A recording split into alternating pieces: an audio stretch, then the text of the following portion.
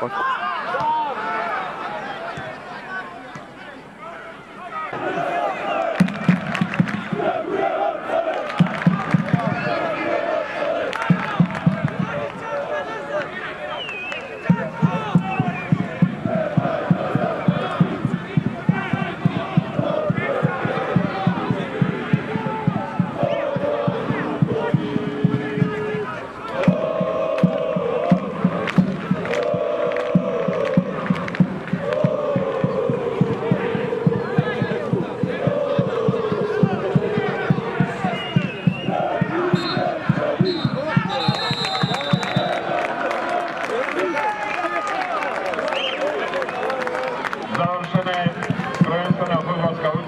30. kola Jelen Super Lige.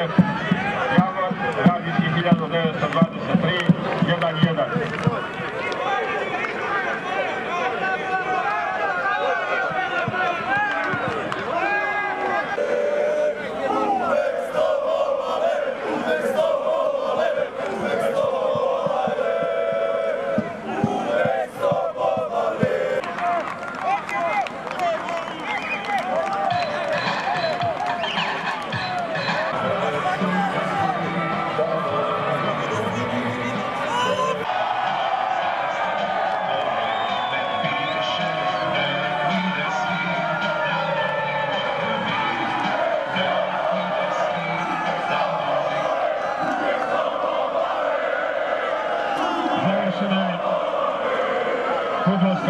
out.